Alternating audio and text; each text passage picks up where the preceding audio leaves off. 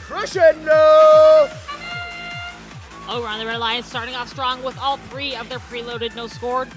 Blazing Bulldogs and BREAD each back with another from the center line. Blazing Bulldogs racing Warrior Borgs on blue for another. They wind up scooting sideways a little bit.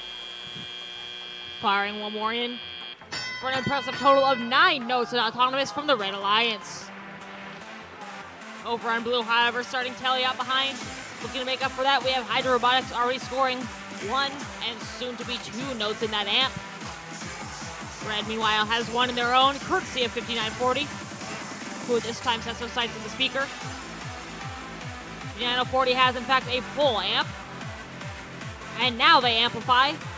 5940 scoring one note, getting several more fetch for both of their partners. A few seconds left of amplification, 5940 making the most of it.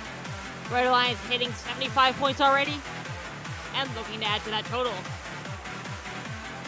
Meanwhile, on blue, it looks like Warrior Borgs having a little bit of intake, intake trouble perhaps, but not slowing them down just yet. Scoring once in blue speaker.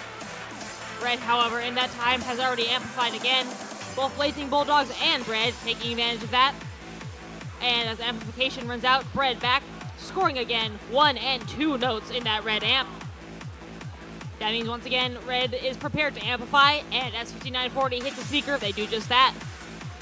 They find another note, line up, get that score too. Blazing Bulldogs coming in to add another one to their alliance.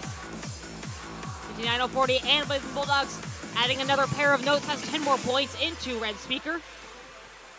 Blue, meanwhile, at the 45 second mark, trying to stay in this match. Hydrobotics, instead of the amp, this time working on the speaker. Their alliance partners, Warrior Borgs, coming in doing the same, while MA Bears fetch some from across field. But Red Alliance has amplified once again. Red adding one and two notes. 581 adding a third, a fourth and fifth note scored in that amplification period. Meanwhile, Red Tie Robotics continuing to fetch notes for their alliance partners and now setting their sights on the red stage. 15 seconds left, 581 up in the air, getting a note scored in the trap. 2940, however, losing their grip on the chain and falling back to the ground. Six seconds left, 1458 coming into park. Red gets a spotlight stage, but they're not quite on stage at the moment, and that is where our teams will finish.